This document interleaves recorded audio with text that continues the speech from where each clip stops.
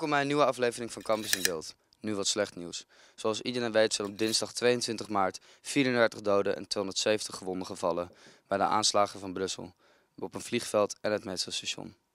Nu komt de dreiging voor veel Nederlanders wel erg dichtbij. Dagmara stelt in het item de vraag hoe het zit met onze veiligheid en ons gevoel daarvan.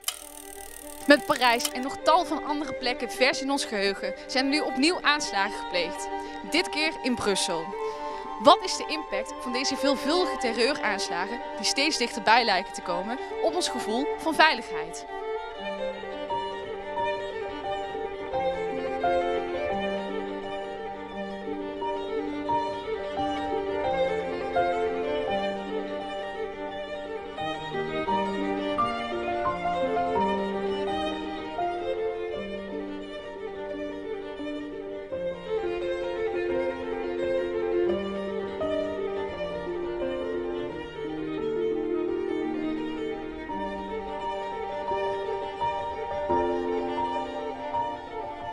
Kunt u mij iets vertellen over wat de effecten zijn van deze aanslagen in onder andere Parijs en nu Brussel ehm, op de Nederlander?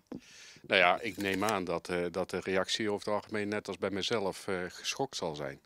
Dus eh, mensen worden erg onrustig van het feit dat dat geweld steeds dichterbij komt.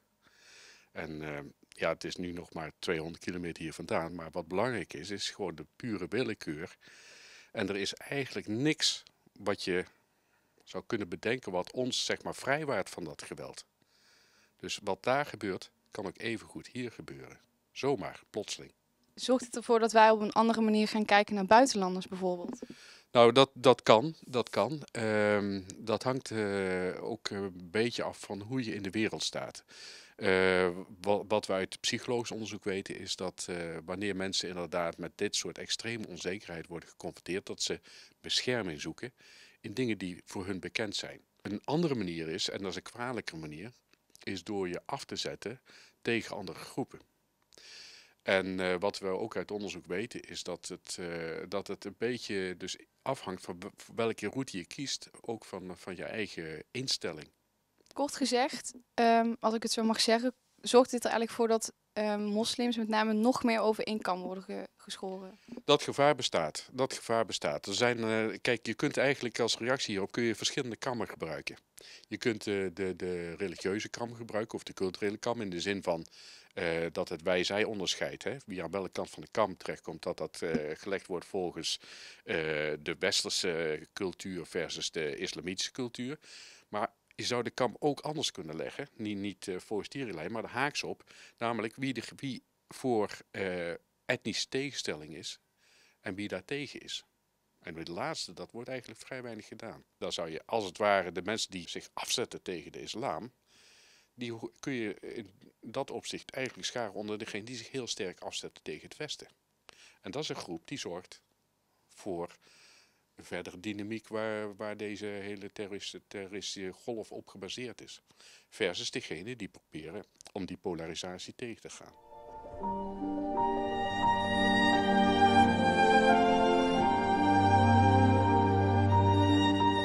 Wat voor een effect hebben de aanslagen nu in Brussel op jou gehad? Ehm, ik moet eerlijk zeggen dat ik me er een beetje voor heb afgesloten, omdat ik er heel verdrietig van word. Dus ja, ja, het, het, het gebeurt gewoon alweer. Ik vind het zo erg. Maar aan de andere kant wil je ook niet ehm, zoveel ermee bezig zijn dat het juist zoveel aandacht krijgt. En, want dan, dan denk ik niet dat het goed is als er zoveel aandacht aan wordt gegeven. dus ik dacht ook, ik wil naar de Vierdaagse feesten. Toen dacht ik, ja, moet ik daar nou, nou wel naartoe gaan, zeg maar. Zo ga je allemaal over van die dingen nadenken en zo. En aan de ene kant is dat best wel eng. En aan de andere kant denk ik ook van ja, we moeten ook absoluut niet stoppen met nu dingen doen of zo. Pak gewoon die metro. eh, en ga- blijf gewoon leven. Ga de straat op. Want als het gebeurt, gebeurt het toch wel. En als je dan op de verkeerde plek, op het verkeerde tijdstip bent, dan is dat gewoon zo. Heb je het gevoel dat je zelf of andere mensen nu anders gaan kijken te- tegenover allochtonen? Ja, en dat vind ik verschrikkelijk. Ja, daar kan ik ook niet zo goed tegen eigenlijk. Je merkt in je omgeving dat mensen er wel anders gaan kijken naar allochtonen. Ja, dat denk ik wel. Misschien niet per se met directe sociale netwerken, maar je hoort wel die geluiden van mensen die het zeggen. En dan denk ik van, oh, dit, is, het is zo, dit geeft zo'n vertekend beeld ook. Weet je, in elke community, in elke samenleving zitten er gewoon rotte appels. En ik vind niet dat je dan iedereen over dezelfde kant moet scheren daarmee. Dus jij ge- gedraagt je niet anders tegenover allochtonen of mensen die toevallig op een station lopen, eh, islamitisch uiterlijk hebben.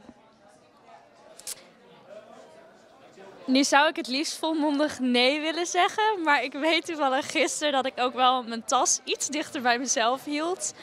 En je houdt je ogen gewoon open voor alles wat eh, vreemd is. Of in ieder geval niet eigen.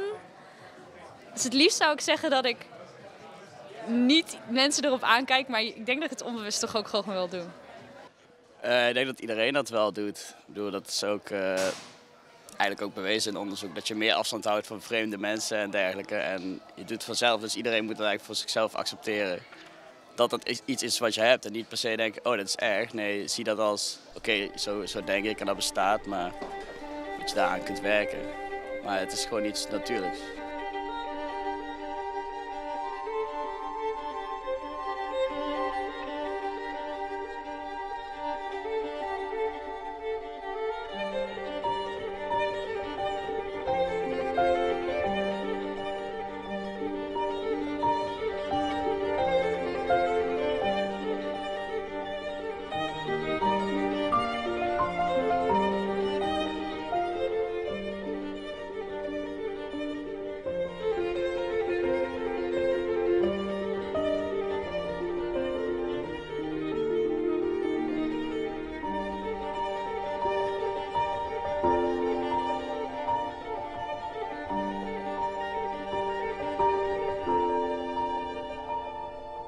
Angst, vermijding en groepsbewustzijn. Dat is eigenlijk de kern van wat wij vandaag gehoord hebben. Ik denk dat het vooral belangrijk is dat we ons niet bang laten maken. Dat we ons niet laten verdelen en dat we vooral blijven samenleven.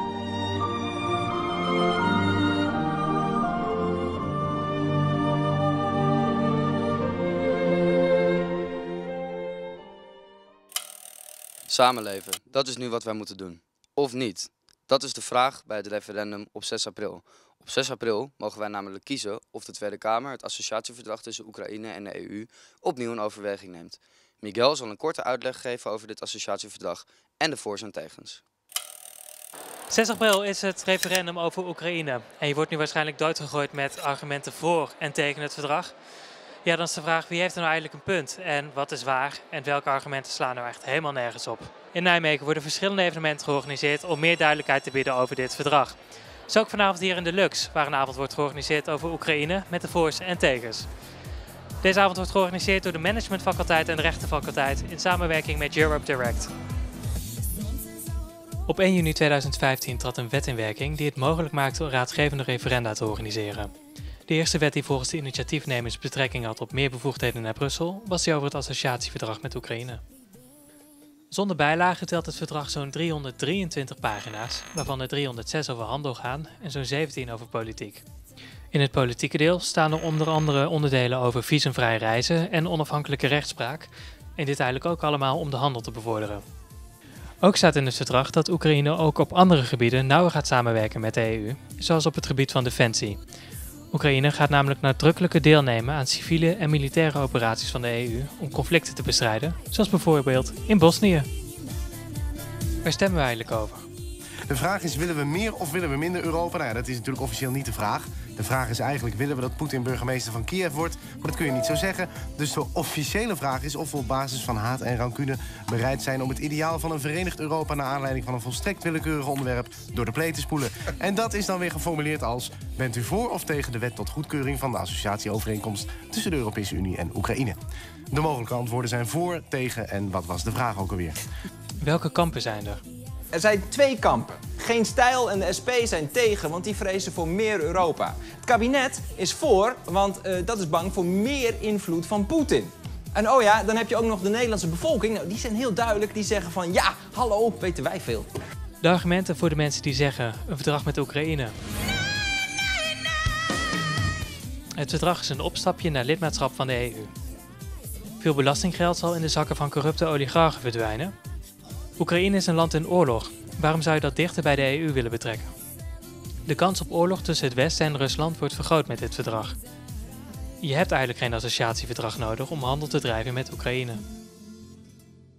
De argumenten van de mensen die zeggen: Geef mij maar een associatieverdrag. Het bevordert de handel met Oekraïne en kost bovendien geen cent extra. Oekraïne is een land dat veel economische groeipotentie heeft.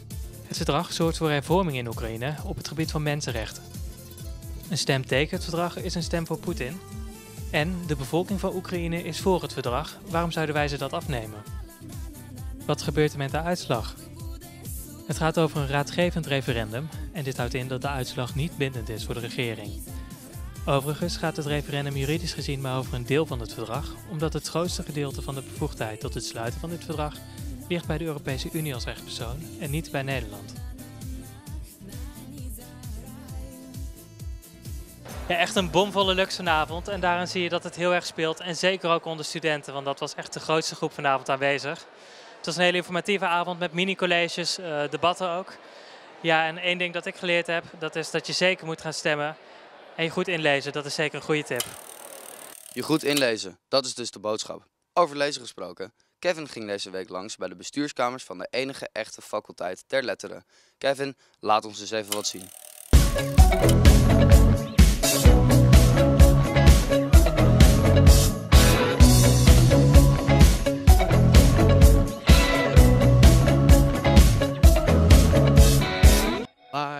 Bestuurskamers?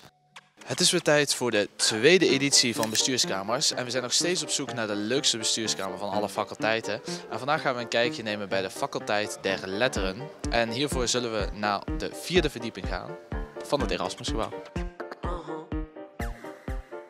Uh, dit is studievereniging GSV Excalibur. De studievereniging van de opleiding geschiedenis. Onze bestuurskamer is niet alleen een bestuurskamer, het is ook gewoon een verenigingskamer. Niet, wij vergaderen niet alleen. Is ook gewoon, eh, wij zitten iedere dag eh, koffie te drinken en, eh, en ook bier, ook regelmatig. Oké, wat is het uh, meest bijzondere object wat jullie hier op de kamer hebben? Ons prachtig stokpaardje hier zo. Hij staat ook in ons logo van de GSV. Wat het uh, paard zo bijzonder maakt, is het is een, het is een homopaard. Ja, het heeft namelijk een roze strikje zo.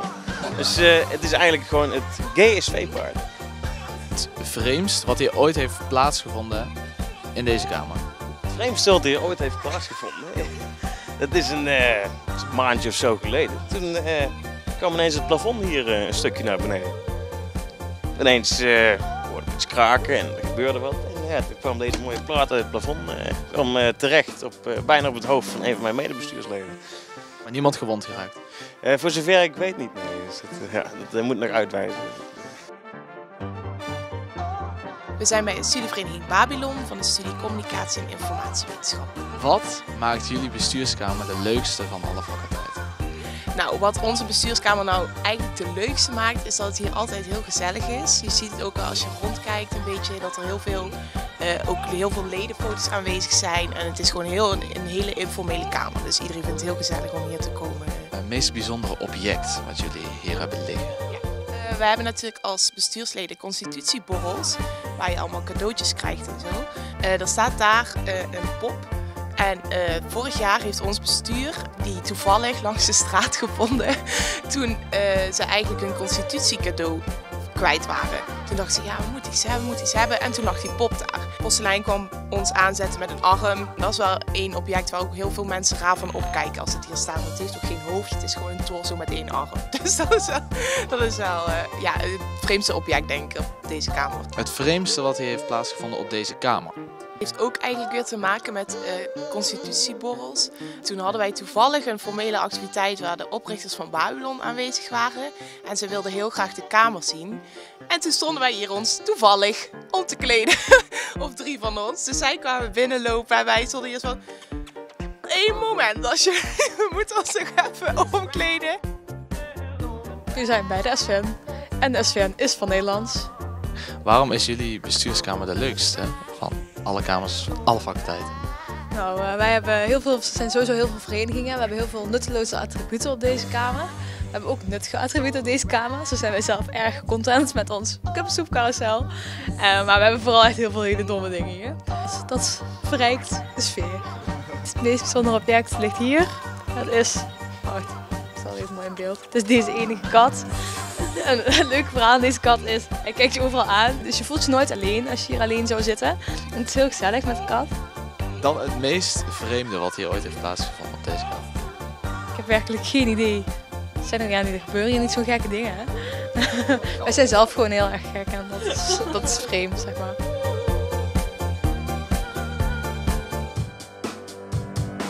Dat was het eerste deel van de bestuurskamers bij de faculteit der letteren.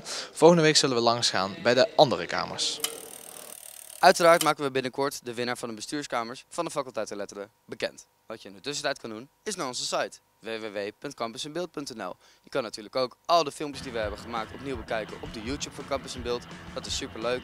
Wij zijn super leuk en we vinden het super leuk als je daar naar kijkt. Ga naar Facebook, Twitter, Hives, Google Plus om ons te volgen op elk sociaal medium wat je kent en er nog gaat komen.